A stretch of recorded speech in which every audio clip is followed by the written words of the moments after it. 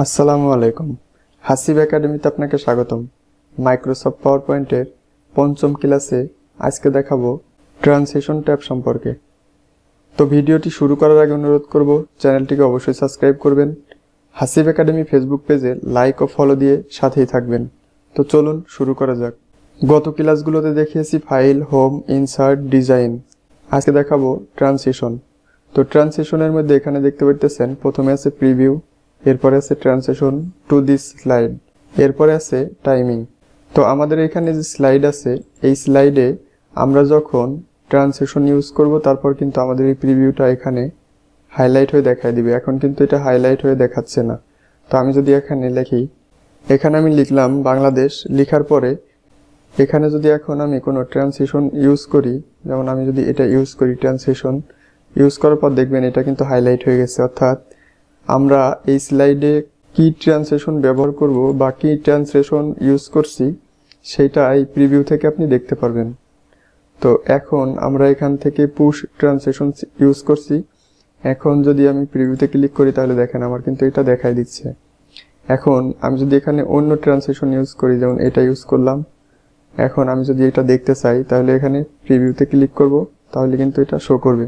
এবং এখানে দেখতে পারতেছেন অসংখ্য ট্রান্সলেশন আছে। আপনি এখান থেকে যেটা আপনার মন চাই সেটা এখান থেকে নিতে পারবেন।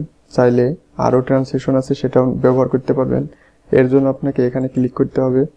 তারপর এখানে দেখবেন অসংখ্য ট্রান্সলেশন আছে। এখান থেকে আপনার যেটা চয়েস হয় সেটা মাউস ক্লিক করবেন, তাহলে এটাতে অ্যাড হয়ে যাবে। এখন যদি আপনি চান যে আপনার এই স্লাইডে আপনি ট্রান্সলেশন উঠাই দিবেন, তাহলে আপনাকে এখানে মাউস ক্লিক করতে হবে। এরপরে এখানে দেখবেন নান লেখা আছে। অর্থাৎ আমি যদি এখন নানে ক্লিক করি, তাহলে দেখবেন আমাদের স্লাইডে কিন্তু এখন কোনো ট্রান্সলেশন নাই। এরপরে আছে ইফেক্ট অপশন অর্থাৎ আমরা এই স্লাইডে যে ইফেক্ট ব্যবহার করব, এই ইফেক্টটা এখান থেকে বিভিন্ন অপশনে নিতে পারব। তো এর জন্য ইফেক্টে ক্লিক করবেন।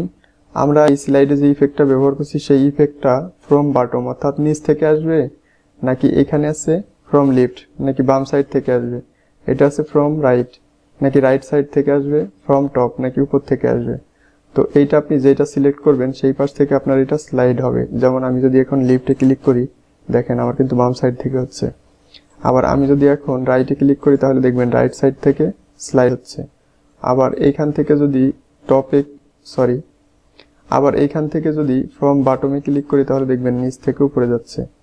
আবার এইখান থেকে যদি ফ্রম টপে ক্লিক করি, তাহলে উপর থেকে নিচে আসবে। দেখেন এখান থেকে আপনি ইফেক্ট দিয়ে দিতে পারবেন। অর্থাৎ, এখানে অসংখ্য প্রকার ট্রান্সলেশন আছে, এই ট্রান্সলেশনের ইফেক্টগুলো আপনি এখান থেকে দিয়ে দিতে পারবেন। এরপরে আছে টাইমিং টাইমিংয়ের মধ্যে আছে সাউন্ড মাইক্রোসফট পাওয়ার পয়েন্টে কাজ করার সময় আমরা যদি কোনো সাউন্ড ইফেক্ট ব্যবহার করতে চাই, তাহলে এইখান থেকে ব্যবহার করতে পারব। যেমন সাউন্ড অপশনে ক্লিক করবেন, এইখানে দেখবেন অসংখ্য সাউন্ড পাবেন। তো এখানে আমি যদি ক্লিক করি, তাহলে দেখবেন এখানে কিন্তু সাউন্ড ইফেক্ট আপনি চাইলে এখান থেকে যেটা চান আপনি সেটা কিন্তু এখান থেকে সাউন্ড ইফেক্ট ব্যবহার করতে পারবেন।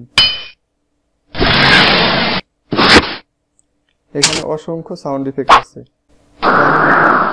এটাই ব্যবহার করলাম। এবং এখান থেকে ডিউরেশন অর্থাৎ টাইম সেট করে দিতে পারবেন। এখন অ্যাপ্লাই টু ওয়ালে ক্লিক করলে এটা অ্যাপ্লাই হয়ে যাবে। এরপরে এই পাশে আছে অ্যাডভান্স স্লাইড অর্থাৎ এইখানে স্লাইডের অ্যাডভান্স অপশন থেকে আপনি এখানে অন মাউস ক্লিক অর্থাৎ মাউস ক্লিক এখান থেকে অ্যাড করে দিতে পারবেন। এখন আপনি যদি টিকমার্ক উঠাই দেন, তাহলে এটা উঠে যাবে। এখন যদি এখান থেকে টিকমার্ক দিয়ে যান, তাহলে এটা কিন্তু হয়ে যাবে। এরপর এসে আফটার অর্থাৎ এইখানে আপনি টাইম সেট করে দিতে পারবেন। তো এই ছিল মাইক্রোসফট পাওয়ার পয়েন্টের পঞ্চম ক্লাস ট্রান্সলেশন সম্পর্কে বিস্তারিত। ভিডিওটি শেষ পর্যন্ত দেখার জন্য অনেক ধন্যবাদ। সবাই ভালো থাকবেন। দেখা হবে নতুন কোনো ভিডিওতে। সে পর্যন্ত আল্লাহ হাফেজ।